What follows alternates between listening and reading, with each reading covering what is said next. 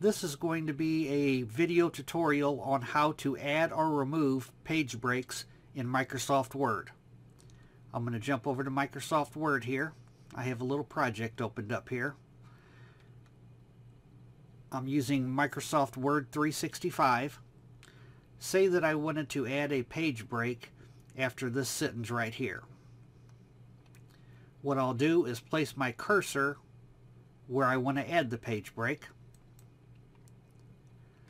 Then I'll go up to the Insert tab, select it, then I'll go down to where it says Page Break, and I'll select that. Now if I wanted to, I could, uh, like say I left out a paragraph, I wanted to add another paragraph in here, I could do whatever I want. To remove that page break, what I need to do is go up to the Home tab, select it, go down to where it says show and hide on the ribbon, select that, that way I can see what I'm doing. Here's my page break right here. It reveals your uh, formatting for your page.